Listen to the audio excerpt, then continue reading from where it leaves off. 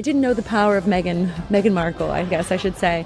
But it's been great for us. It's been great for the show. I hope she doesn't get bothered that I shared a you know a childhood photo of us and I hope she'll come see the show. I think she and Harry and she's about to have a baby. I think it's a perfect show for a mother to be or a new mother to come see the show. So I'm keeping my fingers crossed. We are putting the, the message out there that we'd like her to come and Harry to come.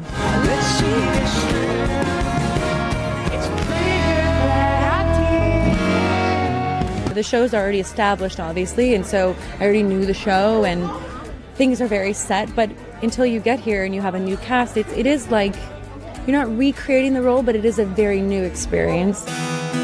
Sugar, come on, girl, we're not playing. I'm thrilled. I feel that people are very excited about the show. I'm so excited. I didn't. I didn't even take off my wig or my costume. I just, I just keep it on everywhere I go. Self promotion.